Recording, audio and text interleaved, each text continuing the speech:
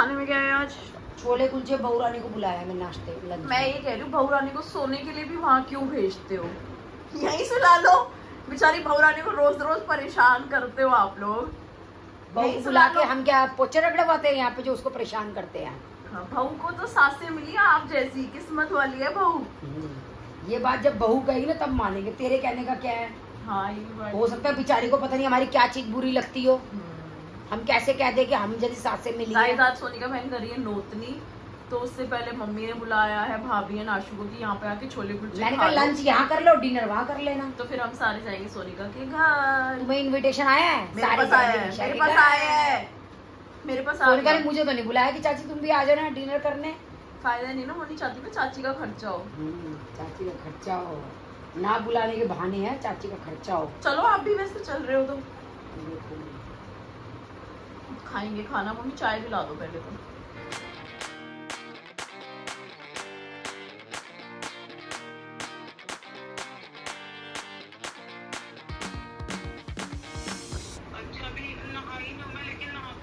अरे बिना ना स्कूटी पे ला दे दो मिनट लगेंगे कोई लाने वाला नहीं आज अनिल नहीं आया हमारा संडे के दिन छुट्टी है उसकी। अच्छा। तेरे चाचा का मुझे लंच भेजना है उनके ने लिए ना आटे वाला एक पैकेट ला दिया कुलचे का। बाकी तुम जो खाओ बोले है ना प्रियंका और आशु भी आ रहे हैं। तेरी मम्मी के लिए भी छोले कुलचे ले दी मम्मी को कह दियो खाना नहीं बनाएँगी। अच्छा तो नकुल। खा लेगा मैं प्याज व्याज सब काट लेती हूँ नीचे ही। तू एक बार छोले सुन आटे वाले कुलचे ज़रूर ला दिए एक पैकेट तेरे चाचा के लिए तो मुझे आटा मारना पड़ेगा ये दीक्षा कह रही है सचिन डेयरी पे मिल जाते हैं ये जॉन के साथ। साथ में जो डेयरी है सचिन। सारे आटे वाली ले आएगी। चाहे तो सारे ही आटे वाले ले आ तुम्हें आटे वाले ना खाने हो तो दूसरे ले आना एक दो आटे वाले ले आना क्योंकि मैंने आशु और उसको बुलाया प्रियंका को आ रहे हैं वो भी तो सब जने नीचे ही लंच कर लेना। चल आ जा फिर तू बिना नहाए आ जा कुलचे दे जा मुझे फिर नहाती रही हो चाहे गुगू को नीचे धर जा हम पकड़ लेंगे चल फिर तू आ जा बहन प्लीज़ जल्द जल्द। जल्दी चलिए गाइस एंजॉय करते हैं छोले कुलचे। सो गाइस मैं हो चुकी रेडी आज है भावेश भावेश नहीं आशु भाई एंड भाभी की नोतनी। तो चलते हैं सोनिका बहन के घर। मुझे भी इनविटेशन मिली है। भाभी के मज़े। भाई तूने क्या किया है? तूने क्या किया? बुलेट हमारे घर के नीचे। आए तुम यहाँ। तो यहीं खड़ी करो। क्यों वो भी तो हमारा घर है। हम तो भाई तुम्हारा घर है। तो ज़्यादा सारे एक साथ पहनेंगे। मेरा का है? ना गुल्लू को पहना तो सही जरा ये नीचे वाला। है? सर्दी। पहना के देख दिखाइए ऊपर साइज़ गुल्लू को अगर एज अ वन पीस होएगा गुल्लू के लिए। गुल्लू आ देखो पहना के देखो। जाओ गुल्लू! और गुल्लू! बहन तूने भावेश को इक्कीस सौ रूपए लिफाफे में इक्कीस सौ। तो क्या हो गया भाई? किस जल्दी बहन मेरे को बहुत चली बहुत चली बहुत दिनों तक चली बहन मेरे भाई को भी दे देख। देती यार। भाई देख एक्चुअली क्या है भावेश कभी नहीं लेता किसी भी चीज़ पे। तो यार एक बर्थडे पे बहन तू मेरे को भी कौन सा किसी चीज़ में कुछ देती है? तेरे- तेरे को देती ना मैं ग्यारह सौ से ऊपर किसी को नहीं देती। तो मेरे को भी इक्कीस सौ देती ना मेरे बर्थडे में? वो- वो भाई मेरे पहन लाए हुए कपड़े पहनेगा ना तो मुझे अच्छा कुछ ना पहनेगा वो वो रख मम्मी ने उसको बोल दिया पाँच सौ रूपए रख के बाकी कितने रुपए बचे वो सारे वापस। शट अप और अगर मेरे पास वापस आए तो साला इस बार खत्म। गुगू? इस बार खत्म। अभी गुगू हमारी वीडियो में खुद घुस रही है। हमारी वीडियो के लिए। गुगू देख ले। जब इसको पता हमारी वीडियो बन रही है तो ये क्यों आ रही है? ये बात। देखो पता नहीं है क्या? है क्यों घुस रही है ये? क्यों घुस रही है? जवाब चाहिए मेरे को तेरे से। गई। मुझे नहीं पता। बहन अगर मेरे पास पैसे वापस आए तो इस बार तुम्हारे जीजू तुमसे बात करेंगे मैं नहीं करूँगी। भी ठीक है। बस। मेरे मैं तो मैं जब रिश्तेदारी थे जीजू जब खत्म तूने मुझे बोलने के लिए मना कर दिया मेरे पास तो इक्कीस आते मैं तो इक्कीस सौ भी रख लेती। हाँ। पर भाई को मैं कभी नहीं मैं ये लड़ रही हूँ कि मेरे को मेरे को कौन सा तू रोज रोज दे देती है जो तू बोल रही है भाई को कभी नहीं देती। तेरे को तेरे बर्थडे पे दिए नहीं थे। पाँच सौ रुपए दिया था तो उसको भी दे तुम और मैं तो बराबर हो तो मेरे को भी देती? चल तू बता दे उसके अलावा तूने उसको कुछ नहीं देती तू बोल रही है। कुछ भी नहीं देती। क्या देती है? तेरे को तो चल तू भाई मेरे साथ बाहर भी चली जाती है तेरे को तेरे को कभी जूस वूस पिला दिया है और चल तेरे को कभी कोल्ड ड्रिंक वोल्ड ड्रिंक पिला दी। गाइस देख लो इसको। है उसको तो भाई उसका तो मतलब ही नहीं अब बनता। इक्कीस सौ में से हज़ार रुपए मैं दूँगी। नहीं। वो उसी के ही है। और उसको कहिए कपड़े ले आएगा और मुझे व्हाट्सअप कॉलिंग कर देगा कि बहन ये तेरे पैसों में से कपड़े लाया हूँ। सो इस टाइम हो रहा है पाँच एंड हमारे कुछ सब्सक्राइबर ममता जी आई हैं शॉप पे तो उन्होंने हमें पहले ही बोल दिया था कि मैं शॉप पे आऊँगी तो प्लीज़ आप अवेलेबल मिल जाना। तो भाविश है शॉप पे मैं भी जा रही हूँ एक बार उनसे मिलती हूँ।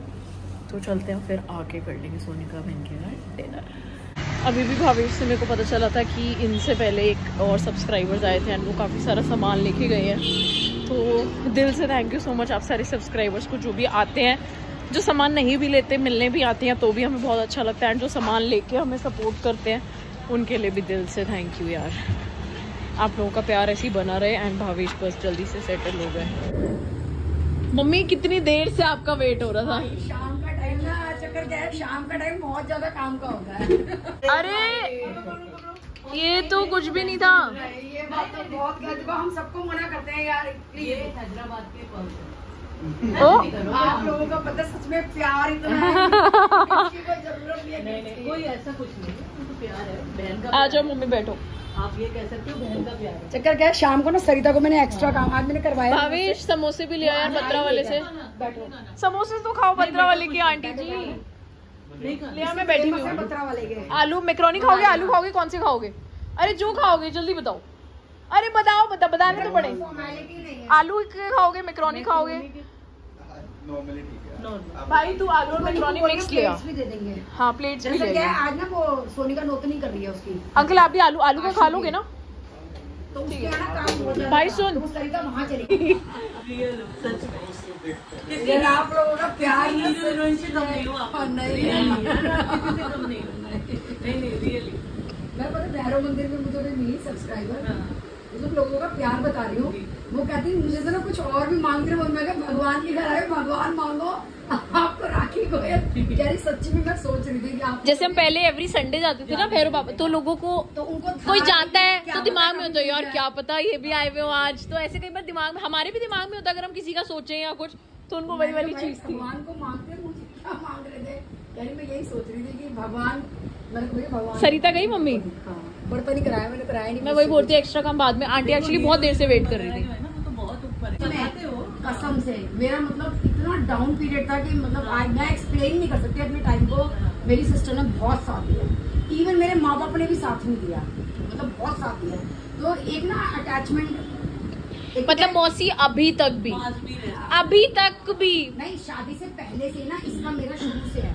जैसे बीच वाली सिस्टर से नहीं था। हाँ। उससे तो मेरी बहुत लड़ाई होती थी पकड़ पता नहीं कैसे होती थी ममता नाम के इतने सॉफ्ट होते हैं। तो, तो मेरी शुरू से बनती थी।